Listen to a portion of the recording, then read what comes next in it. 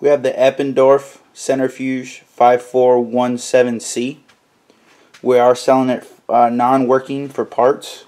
We cannot power the unit up. There are cosmetic imperfections, scratching, shelf wear.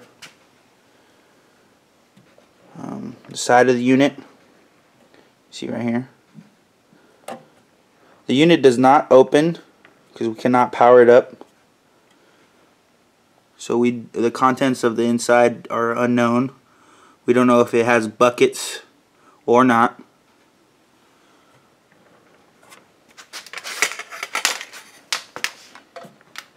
This other side. It's the top of the unit.